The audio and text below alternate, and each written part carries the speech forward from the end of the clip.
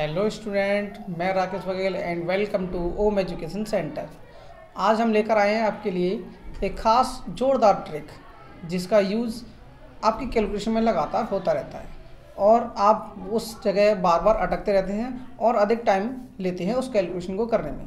तो इसीलिए आज हम इस ट्रिक को लेकर आए हैं। ये ट्रिक है eleven twenty two thirty three से किसी भी नंबर में मल्टीप्लाई करना, ठीक है ना? तो आइए जानते हैं इस प्यारी सी ट्रिक के बारे में, ठीक है? और ये ट्रिक बहुत ही जोरदार ट्रिक है और अच्छे से आपने एक बार इसको समझ लिया तो इसके इसको अप्लाई करना बहुत आसान है, ठीक है ना?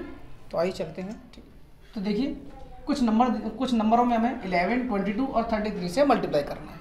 तो क्या तरीका है? आसान तरीका इस नंबर को मल्टीप्लाई करने का। फॉर एग्ज़ाम्पल अगर हम जैसे ले लें thirty four multiply by eleven ठीक है ना? इस नंबर को आप मल्टीप्लाई इलेवन से करेंगे फोर में, फिर थ्री में करेंगे। लेकिन इस इस नंबर में मल्टीप्लाई करने का बहुत आसान तरीका ये है कि आप इन दोनों नंबरों को यहाँ इस तरह से लिख सकते हैं। पहले थ्री को यहाँ लिखेंगे और फोर को यहाँ लिखेंगे। और इन दोनों नंबरों को ऐड करके आप बीच में लिख दीजिए। यानी कि नंबर आ गया थ्री सेवन फोर ठीक है ना?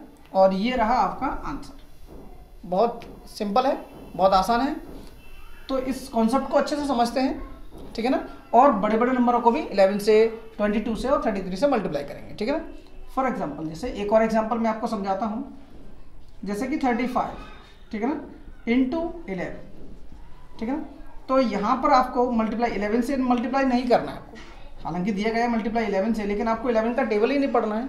और मैंने आपको क्या तरीका बताया है कि थ्री और फाइव को, सबसे पहले थ्री को यहाँ लिखेंगे और फाइव को यहाँ लिखेंगे, ठीक है ना?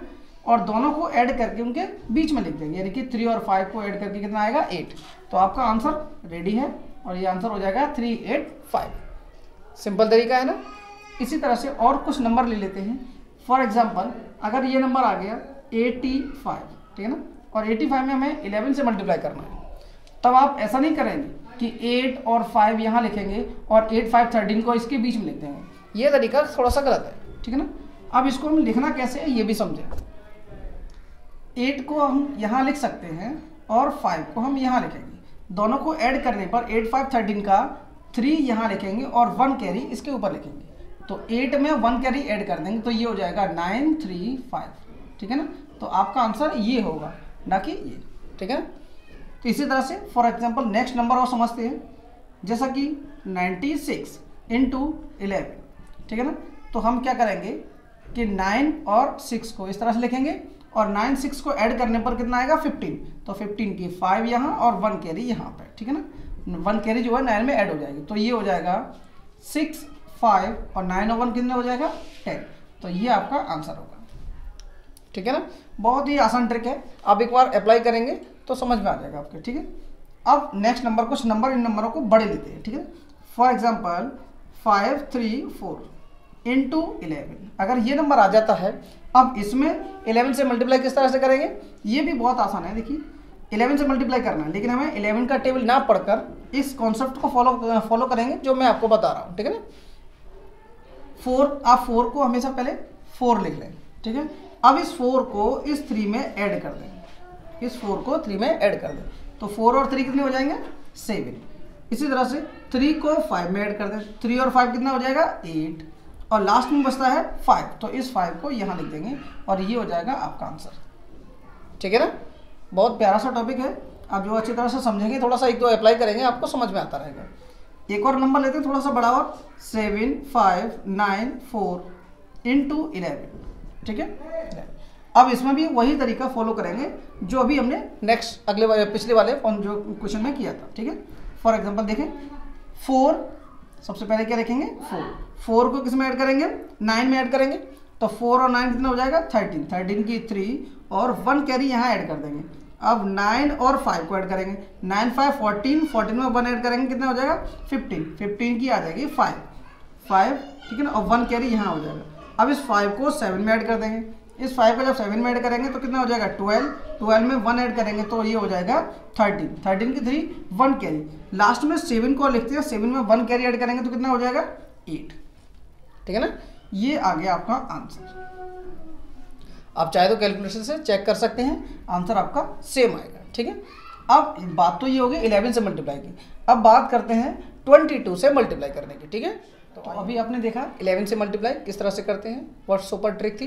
इसी तरह से अब आते हैं अपने नेक्स्ट ट्रिक की ओर। अब हमें किसी नंबर को मल्टीप्लाई करना है ट्वेंटी टू से। तो ये मल्टीप्लाई भी करना बहुत आसान है। बस आप थोड़ा सा कॉन्सेप्ट को पकड़ लें और ये मल्टीप्लाई सभी नंबरों में, किसी भी नंबर हो, कितना भी कितना भी बड़ा नंबर हो, आप उसमें ट्वेंटी टू का मल्टीप्लाई बहुत आसानी से कर सकोगे। ठीक है? तो देखिए किस तरह से इसको करते हैं। पहले छोटे नंबरों को लेते हैं पहले। मान के चलो थर्टी थर्टी टू ले लो।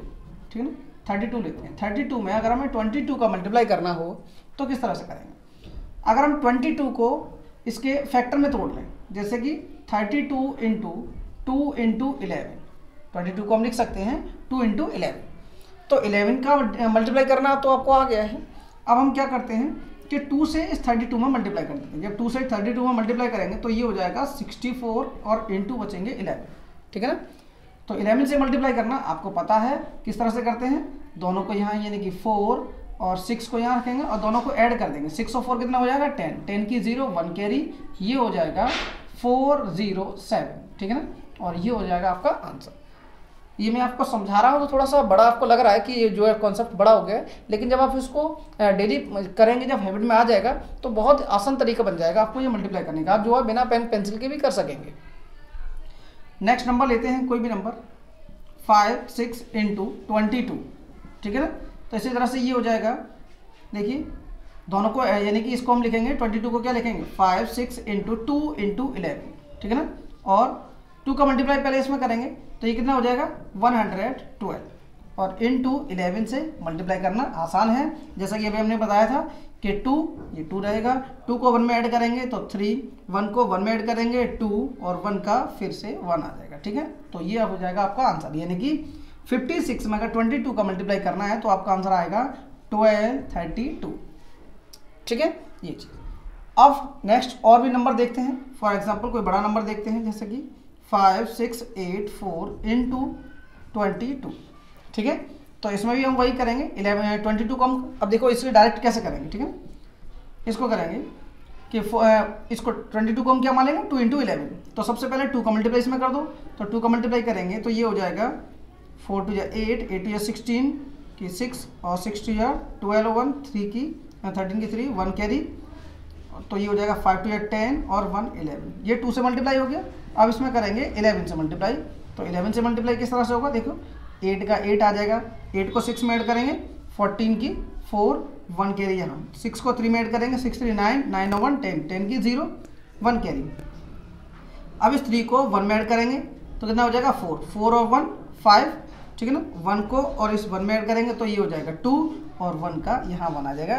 तो ये हो गया आपका इलेवन से भी मल्टीप्लाई यानी कि अगर फाइव सिक्स एट फोर में ट्वेंटी टू का मल्टीप्लाई करते हैं तो आपका नंबर आता है one two five zero four eight ठीक है? बहुत ही आसान तरीका है। बस आप एक बार अप्लाई करके देखिए और बहुत ही जो इसको बोलेंगे जादुई जो है, जादुई ट्रिक एक तरह से मैजिक ट्रिक है।